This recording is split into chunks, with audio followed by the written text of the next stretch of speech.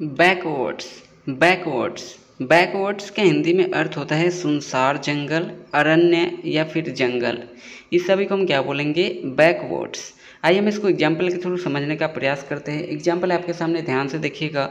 They spend their childhood in the backwards यानी कि उनका बचपन जंगल में बीता। दूसरा एग्ज़ाम्पल आपके सामने Our car broke down in some godforsaken corner of the Pennsylvania backwoods यानी कि हमारी कार पेंसिल्वेनिया के जंगलों के किसी सुनसान कोने में खराब हो गई। तो आई होप आपको ये बैकवर्ड्स के हिंदी में अर्थ और इसका यूजेज आपको क्लियर हो गया होगा। कमेंट सेक्शन में आपको बताना है बैकवर्ड्स का पास्ट ऑफ़ स्पीच कैटेगरी क्या होता है। आई होप आप बता दोगे। और चैनल पर नए हो चैनल को सब्सक्राइब कर लीजिए।